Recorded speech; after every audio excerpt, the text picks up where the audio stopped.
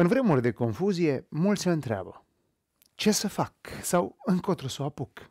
E bine, răspunsul Bibliei este simplu și clar și vine prin vocea psalmistului. Citez. Încredințează soarta în mâna Domnului, încredete în El și El va lucra. Va face să strălucească dreptatea ta ca lumina și dreptul tău ca soarele la amiază. Am încheiat citatul cules din Psalmul 37.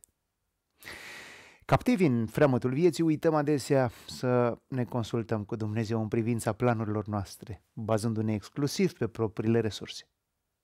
Cuvântul adevărului ne amintește însă că deasupra noastră este un Dumnezeu suveran, plin de dragoste și bunătate, care așteaptă să-L căutăm și să-L acceptăm ca scut și pavăză în viețile noastre. Plecând la drum fără El, ne vom izbi adesea de răutatea și indiferența acelora care ne înconjoară, dar împreună cu Dumnezeu chiar și valea umbrei morții va părea un drum al veselii.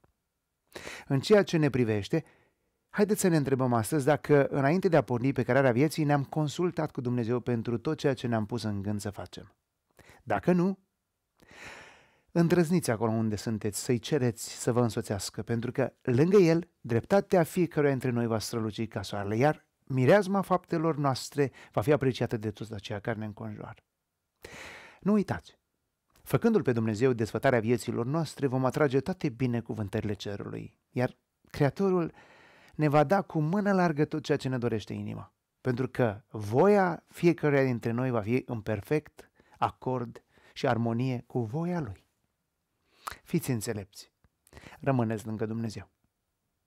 Fiți binecuvântați!